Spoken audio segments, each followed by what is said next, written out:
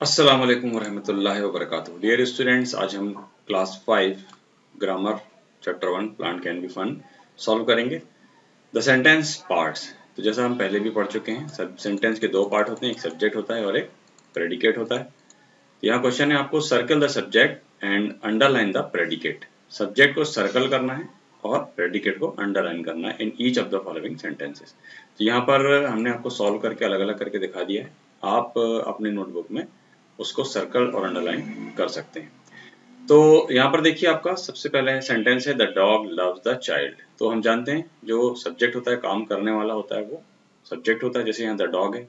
और वर्ब और उसके बाद का जो पूरा हिस्सा होता है, वो प्रेडिकेट होता है। तो द डॉग जो है, यहाँ पर क्या है?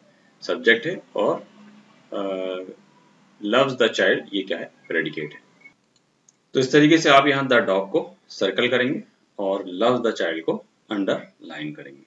Circle the subject and underline the predicate same ऐसे देखिए यहाँ पर द हंटर यहाँ पर सब्जेक्ट है कॉट द हेयर प्रेडिकेट है। वेयर सब्जेक्ट है does the hare live in winter ये हु यहाँ सब्जेक्ट है, बाकी जो हिस्सा बचेगा वो प्रेडिकेट दे सब्जेक्ट बाकी predicate the girl the sun what Alice I ये सारे सारे सब्जेक्ट्स हैं, इनको आपको एनसर्कल करना है और बाकी जो यहाँ पर सेंटेंसेस आगे जो दिए बचे हैं, वो प्रेडिकेट हैं, उनको आपको अंडरलाइन करना है। नेक्स्ट देखिए क्वेश्चन भी है match column A with column B to match subjects with their predicate वही सेम सेंटेंस पैटर्न है।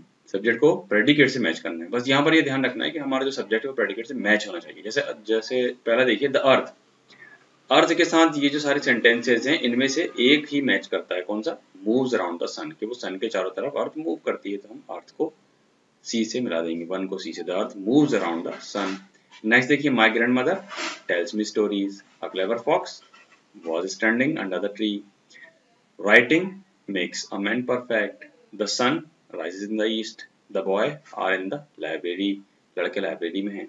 My pen is in is on the table मेरा पेन टेबल पर है. दिस फ्लावर स्मेल स्वीट इस flower की खुशबू बहुत अच्छी है.